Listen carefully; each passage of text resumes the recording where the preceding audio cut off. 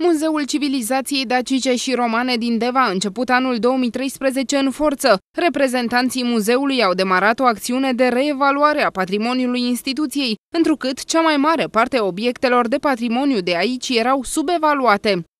Odată cu această evaluare pe care expertul uh, o, și-o asumă, stabilim și un preț de piață sau apropiat de cel de piață. Avem un patrimoniu foarte mare, un patrimoniu extraordinar de valoros și din punct de vedere științific, dar un patrimoniu care a fost, din păcate, subevaluat în, în ultimii 20 de ani, lucru care nu a făcut bine instituției, lucru care nu a făcut bine României, pentru că eu cred că această reevaluare trebuie practic realizată de către toate instituțiile care dețin în, în proprietate astfel de patrimoniu patrimoni.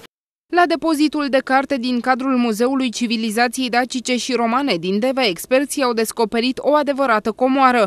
Cărțile vechi de sute de ani sunt reevaluate pentru a se afla adevărata lor valoare.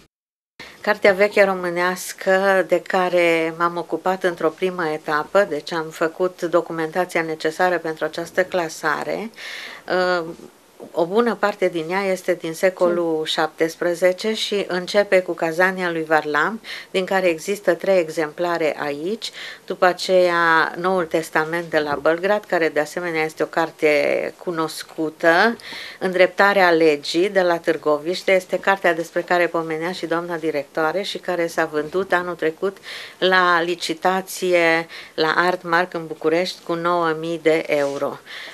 Cele mai multe dintre cărțile vechi au tematică religioasă. Potrivit experților, cărțile din depozitul Muzeului Civilizației Dacice și Romane din Deva reprezintă un factor de unitate națională, pentru că toți cei care le scriau și le citeau le considerau cărți apărute în legea neamului lor. Un exemplu în acest sens este Cartea Românească de Învățătură. Sunt cărți care s-au cumpărat pe mulți bani, începând chiar după apariția lor, care au trecut clandestin la vremea aceea frontiera dinspre Moldova sau cele din țara românească, din țara românească au fost aduse în saci de unii negustori prin vămile cucului nedeclarate. În depozitul muzeului din Deva sunt aproximativ 300 de cărți vechi. După ce sunt reevaluate, toate aceste exemplare vor fi restaurate pentru a putea fi păstrate cât mai mult timp.